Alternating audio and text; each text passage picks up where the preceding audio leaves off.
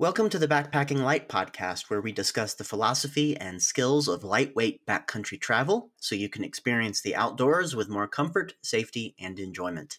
I'm Andrew Marshall. And I'm Ryan Jordan. And today's podcast is a tech short about Stovebench. Stovebench is the testing protocol that we've developed in an effort to create standardized stove performance metrics. And that's something we'll dig into here in a second. We're pretty excited about it, and we hope it becomes a valuable contribution to the backpacking community. So, Ryan, why don't you just give us a brief overview of what Stovebench is and what it does, and then I'll jump into why we felt the need to develop it in the first place. So, at, at its core, Stovebench is a testing protocol that we can use to determine, with a very high degree of reproducibility, two important backpacking stove performance features power and efficiency. Then we roll these metrics up into a single quantifiable performance factor that we call the stove bench score. So before going on too too far, I want to make sure that we define what we mean by power and we define what we mean by efficiency. So power can be described in a couple of different ways. The most common way for a a user to understand power is through boil times. So it's the amount of time it takes a stove to boil some volume of water. And that's going to be related to a number of different stove design features the size of the burner head, the power of the flame, you know, the, the actual robustness of the flame and its resistance to wind and things like that, the energy content of the fuel, how much fuel is flowing to the burner and being combusted, and the efficiency of fuel combustion at the burner head. So, all these things affect the BTU output of the stove and influence its power and its ability to deliver heat to the water. The other factor we're looking at is efficiency. Now, in defining efficiency, there's a couple ways to look at this. There's uh, a few definitions floating around out there. We're interested in exploring two means of efficiencies here. One is the efficiency of a stove to completely combust the fuel so that it converts the fuel to as much heat as possible. And then the other aspect of efficiency is kind of a system efficiency, and it has to do with the, the stove, the windscreen, the pot combo, everything. And it's really how much of the heat from the fuel can be transferred to heating the water in the pot. So the goal of Stove Bench is to measure and collect the data we need to get a good handle on power and efficiency. Right. And what led to the creation of Stove Bench was that when we were researching our gear guide and we started to compare stoves, we realized that there were a lot of variables that weren't being taken into account when we started looking at the data that was provided by the manufacturer. So we realized that things like the ambient temperature of the lab where the tests were being run was could be different from manufacturer to manufacturer. The elevation of the place the tests were being run, the amount of fuel inside of the testing canisters, the size, the shape, and material of the pots that were being used to provide this data, uh, the temperature of the water before boiling. So that, that's just too much to really start comparing boil times on different stoves and it actually mean anything. So we, we really wanted to create a system that could standardize as much of that as possible and that could be replicated by BPL stove testers all over the world. So, in addition to this protocol, we've created a set of instructions that allow testers to run this protocol for themselves and then share that data with the ultralight community. Yeah, and I, I think this this was key in developing the protocol was we wanted to standardize a, a test system so that we could at first create a, a controlled test environment that we could get basic fuel consumption and boil time tests for and realize that that's not going to describe a stove's performance in great detail. You know, you run these tests on a bench in indoors with a certain volume of water using a certain type of pot, using a certain starting and ending temperature. And that's not necessarily representative of what happens in the field. But the goal with creating this first control number is that we can then tweak the system and start studying all sorts of different things larger water volumes, different pots, the use of a windscreen, the addition of wind, colder ambient temperatures, things like that. But you've got to have a reproducible, controlled test environment first so that you can get baseline data. And this is where it's really difficult to go to a retail shop and see a comparison table of backpacking stoves that report manufacturer boil times and canister burn rates and things like that because they're they're often created in such wildly different test environments that they're probably not as comparable as you think they are. Right. So how does stove bench actually work? Can you give us the nuts and bolts? Well, let's let's walk through a control boil test. So basically what we're doing is and and we'll talk about upright canister stoves today, but the stove bench protocol has been adapted for all different stove types and we'll be able to uh, publish those protocols as we start um, investigating those stoves. But we're going to talk about upright canister stoves first.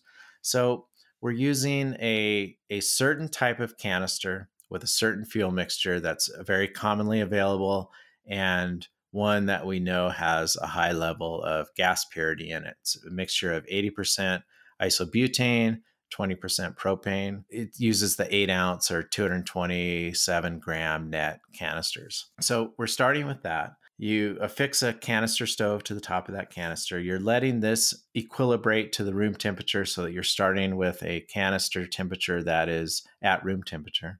For water, we have a a 0.85 liter titanium pot that has a fairly wide base, and we're adding 500 milliliters of ice water to it so with no ice in it. So the, the water is, you know, around zero degrees Celsius to start. Um, it, it's usually, you know, between zero and two, something like that. And then we're going to heat that water up to the boiling point, which of course is going to differ depending on your elevation. But the goal here is to heat water over a wide temperature range at two very controllable temperatures freezing and boiling. So we're we're looking at a you know 90 to 100 degrees of heating there. So we're measuring the weight of the stove and canister to get a starting weight of the fuel. We're measuring that system weight at the end of the test so that we can determine the amount of fuel that's consumed. And we're monitoring the temperature throughout the test using a thermocouple.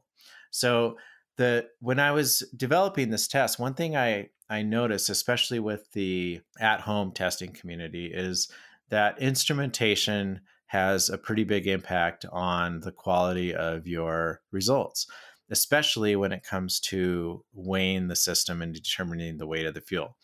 So we're using a scale, uh, it's an industrial scale that has a resolution of a tenth of a gram. We're using industrial thermometers that have resolution to a tenth of a degree C.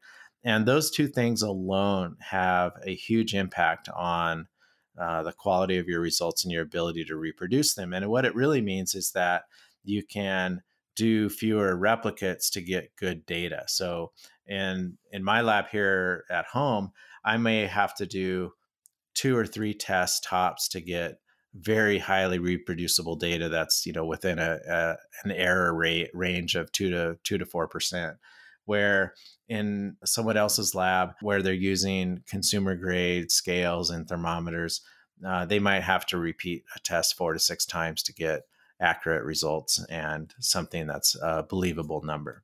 So we're running these boil tests. We're we're determining the fuel consumption and we're determining boil times um, in our tests. And then because we've collected temperature data, because we've weighed the amount of water we're using in the test, and because we've got very accurate weights of fuel consumption, we can then calculate a whole host of things that go into stove performance accurately. Things like a stove's efficiency, its gross wattage, its stove bench score, which is our metric for evaluating the performance of a stove based on power and efficiency, things like that. So you can pull an enormous amount of data out of here and um, use it to evaluate and compare stove performance. So we published the stove bench protocol in early January and we had a lot of great feedback, but also some questions. So we'd like to address those questions here. The first one was what pot size, shape, and material did you use as a stove bench baseline, and what are the possible ramifications of that choice? So, a lot of ultralight backpackers use mugs or mug like pots that are tall and skinny. They have a low diameter. They're not the most efficient cooking mechanisms because uh, it's there's not a high surface area. There's not a large diameter to deliver heat through. And so we wanted to select a pot that was a little bit wider than that, and then we'll evaluate these these skinny pots later on. But um, the choice of the pot for our standard protocol is something that gives a wider base so that the diameter of the pot is not going to be a severely limiting factor into the stove's performance when we do the control test. We chose titanium over, say, steel or aluminum because titanium is becoming the gold standard in backpacking cookware. And it's it's far and away the most popular option among our community, which is who this protocol is primarily for. In terms of uh, the pot size, most of our community uh, tends to cook solo. And so their normal uh, cooking volume is somewhere between 8 and 16 ounces. I chose 16 ounces because I think this is the most common amount of water that you are normally cooking at, for example, a dinner meal. Now, most of the packaged freeze dried meals that I use require about 12 ounces of water. And I've seen others kind of standardize their home boil tests on 12 ounces. I always make a little bit, little bit more water because uh, that 12 ounces is um, often not enough to rehydrate my meal effectively, even when the instructions say that. I think the instructions will have that on there for ideal conditions that are warm and things like that. But I always find myself adding a few more ounces beyond what the manufacturer rep- recommends because I either want my dinner a little bit soupy or I prefer to have everything hydrated. And sometimes it takes a little more water than that. So I find myself typically boiling 16 ounces of water at a batch. In the morning, that fits my cooking style as well because I might use eight ounces for oatmeal and eight ounces for a cup of coffee or something. So we're we're standardizing on a 16 ounce uh, boil volume. So uh, you mentioned this a little bit earlier in the pod, but um, maybe we can dig into it here. Can stove bench be applied to other types of stoves, specifically ultralight stoves like wood burning stoves or alcohol stoves? Absolutely. I've I've uh, applied the protocol for all the different stoves that I have here. Um, and I'm using it on wood. I'm in the process of kind of fine tuning the wood burning protocol using uh, just pellet fuel, and uh, it's it's remarkably repeatable. So I'm really excited to to bring a wood burning protocol to to backpacking light soon as well. As soon as I iron out the the kinks associated with that and then you know I've applied it to Esbit and alcohol, and um, we're running integrated stove system tests right now. So things like the MSR reactor and Jetboil and and whatnot. And uh, the protocol needs tweaked for each different fuel type so that those tests are standardized as well. Uh, but uh, it's it's generating some great data, so I'm excited to actually uh, be able to publish some of these figures for the different stove types. And this is where I think it has some potential to be a very useful educational tool because you can assign a stove bench score, which is this ratio of uh, the output of a stove divided by the input of energy that goes into the, the stove test, and get a really neat feel for how wood compares to solid fuel compares to alcohol compares to mm. canister gas and and then you can massage that data further based on the stove system weights because these stove systems all have different weights. And you can create these elaborate graphs that allow you to say okay i'm i'm going to go backpacking for 8 days. I am boiling this amount of water per meal this is the number of meals per day I have that I need boiled water for. And you can see how each of these different stove types performs in each of these scenarios. And it's a it's at it at its base, it's a very useful educational tool to help you understand how stoves behave. And it can be a good decision making tool based on your needs for a particular trip as well. Won't elevation skew the results? This is one of the questions we had a lot on the forum. Um, and one one writer said, in order to get a better stove bench score, couldn't you just hike up a mountain? Elevation changes primarily the boil temperature of water. So if you look at the boiling temperature of water at sea level, it's 100 degrees Celsius or 212 degrees Fahrenheit. I live at 7,200 feet, so my water boils at around 92 degrees Celsius, substantially cooler. And the stove bench protocol is is pretty neat because it it does not matter what the beginning and ending temperature of the water is. It it calculates a, a performance score based on what the measured starting and ending temperature of the water is. So rather than being too concerned about what temperature your water boils at, um, just knowing the starting and ending temperature of your water is far more critical. And this is where um, kind of user generated boil tests are sometimes hard to interpret because the boil time test that I perform at 7,200 feet is going to look very different than somebody who's performing the same test in Seattle at sea level. And um, our numbers could be substantially different, but we just claim that this is the time to boil. I would argue that time to boil isn't as relevant as the change in temperature that you're actually measuring during your boil test. In the stove bench protocol, one of the things that you do is you run the stoves wide open at full throttle. Can you talk about why you made this choice and maybe get into one of the questions was aren't stoves more efficient when you run them below full throttle? So how does that affect the testing and the scores? You have to start with something that's repeatable. I have a series of tests that I performed on a needle valve canister stove where I opened the the valve handle some number of rotational degrees off of its off position and ran multiple tests through the valve's entire range of motion. And so what I found was that the repeatability of running a valve partially open is very, very difficult. And some of these stoves have needle valves that are so sensitive that you get substantially different boil times or fuel consumption rates, even if the valve is five or 10 degrees different. And that five or 10 degrees is, is a pretty hard level of precision to dial in by eye. We I used a a digital protractor to actually precisely dial this in, but you can't do this in the field, right? So you have to start somewhere with a repeatable known number and wide open is is the best way to do that. Now, wide open causes some problems when a canister is completely full.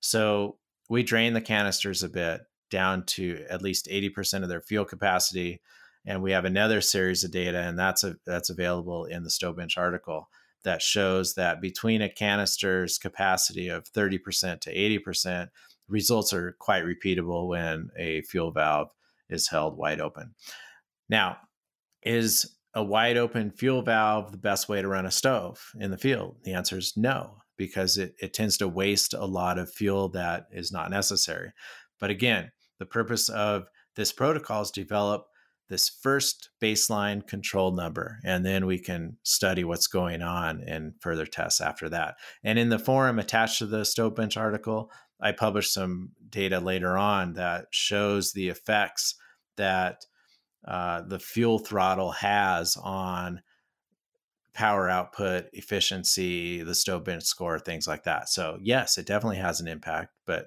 we're going to start with full throttle because that's a very repeatable way to do it. The last question we have is basically what's the point here? I mean, are, are we just creating something for the the um, scientifically minded people on our forum to argue about, or are we creating something that is going to be of help to the average backpacker in making a stove choice? If we stop here with with boil tests, and just rank stoves with this arbitrary stove bench score. Uh, we've done nothing other than an academic exercise. The, the real utility I see is being able to subject stoves to adverse environments, cold temperatures, um, some wind, larger water volumes, the things that really challenge stoves. And that's where I think you're going to see a large degree of differentiation between various stoves out there. You can run boil tests on your kitchen counter until the cows come home, but it's not going to give you the type of valuable data that you need to make a decision on whether a stove is going to work in the conditions that you're going to put it in. Now, I would argue that for for most of us backpacking in the summer when it's warm and and the conditions are mild, most stoves are going to work just fine. But when the conditions become more challenging, uh, as your as your water volume needs go up, as the environment becomes more inclement, then you're going to see some differentiation in in not only different stove types, but different models of stoves within those stove type classes. And I think once we start uh, throwing uh, some challenging, adverse stove testing conditions at these stoves and then studying how they perform under those conditions, that's really where it's at for me. Uh, we do have one last question, which is what are some of the other potential flaws with the protocol and what can we do about them? I think the biggest flaw is believing that a score or a number that's generated from a stove test, whether it's boil time, fuel consumption, or the stove bench score, believing that that one number or two numbers tells the whole story of stove performance, that's the risk. That's the limitation of this protocol. So that someone is going to take one of these numbers and say, oh, this is the best stove. There's so much that goes into someone's decision to build a cook kit um, around a stove system. And they may have preferences for various fuel types that uh, aren't told by the stove bench score alone. And so there's a risk that you get tunnel vision in believing that these boil test numbers control your decision making process.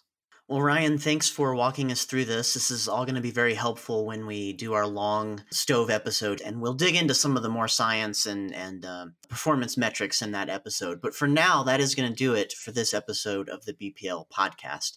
We'll definitely put a link to the stove bench protocol in the show notes if you'd like to give it a read for yourself. Also, make sure to read the forum and the and the discussion that happened along with the publication of that article.